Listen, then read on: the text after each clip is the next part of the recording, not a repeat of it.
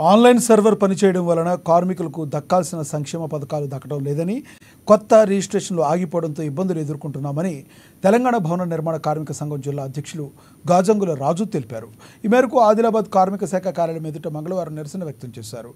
అనంతరం కార్యాలయంలో అధికారులకు వినతి పత్రాన్ని ఇచ్చారు. ఆన్లైన్ వెంటనే పునరుద్ధరించే దిశగా ప్రభుత్వం అధికార యంత్రాంగం చర్యలు చేపట్టాలన్నారు. దాదాపుగా నలభై రోజులుగా ఆన్లైన్ సిస్టమ్ స్తంభించిపోవడంతో రెన్యువల్ పూర్తిగా ఆగిపోయాయన్నారు. క్లైమ్స్ కూడా కావడం లేదని కొత్త రిజిస్ట్రేషన్లకు అవకాశం లేకుండా పోయిందన్నారు.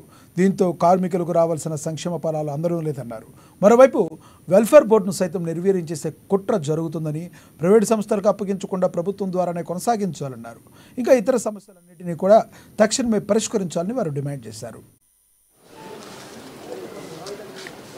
రాష్ట్ర పిలుపు మేరకు ఆదిలాబాద్ జిల్లా కార్మిక శాఖ కార్యాలయంలో భవన కార్మికుల సమస్యల పరిష్కారానికి ఈరోజు కమిషనర్ గారికి మెమరణం ఇవ్వడం జరిగింది. ఈరోజు గత నలభై రోజులు నలభై నలభై రోజుల నుంచి ఆన్లైన్ సిస్టమ్ మొత్తం పూర్తిగా బంద్ ఉన్నది.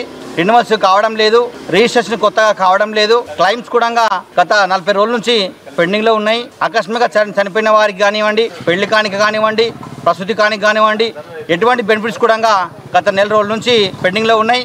క్లైమ్స్ కావడం లేదు. ఆన్లైన్ సిస్టమ్ మొత్తం బంద్ మూలంగా చాలా భవనీయమైన కార్మికులు చాలా ఇబ్బందులు పడుతున్నారు.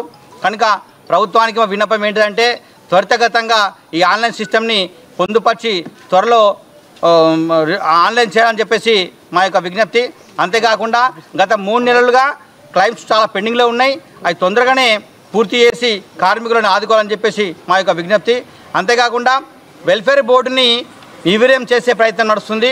కాబట్టి ప్రభుత్వానికి మా విన్నపం ఏంటిదంటే వెల్ఫేర్ బోర్డు ఏ విధంగా అయితే ఈ స్కీమ్స్ అన్నీ వర్తింపజేస్తుండ్రో దాన్ని కంటిన్యూ కొనసాగించాలి.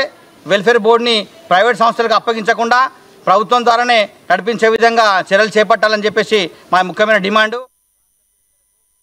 పోలీస్ అమరవీరుల సంస్మరణ